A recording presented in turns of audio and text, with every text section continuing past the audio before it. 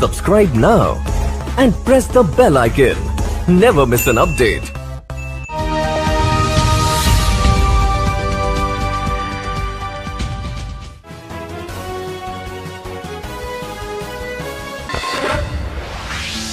नमस्कार, आप देख रहे हैं सेवन न्यूज़ और मेरठ से बड़ी खबर आ रही है, आपको बता दें, ईदगाह चौराहे पर बस के ब्रेक फेल होने के कारण बस ने पाँच लोगों को टक्कर मारी मरीजों को बागपत रोड पर स्थित केएमसी अस्पताल में भर्ती कराया गया है। देर दफेदार पुत्र सत्तार निवासी शिवाल, आयुष गुप्ता, पुत्र संजय गुप्ता, निवासी सरस्वती लोक, राजेंद्र पुत्र जयप्रकाश, निवासी जटोली, हारून पुत्र हनीफ, निवासी समर गार्डन कॉलोनी, ऑटो चालक, आलिया निवासी गोला कुआँ इन सभी को गंभीर चोट आई है और इनका इलाज फ़िलहाल के एमसी अस्पताल में कराया जा रहा है। मेरठ से संवाददाता वेद प्रकाश की खास रिपोर्ट।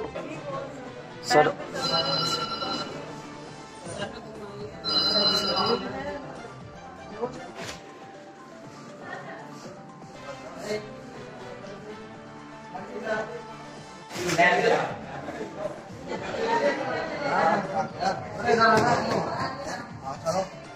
आ और लोग आते हैं?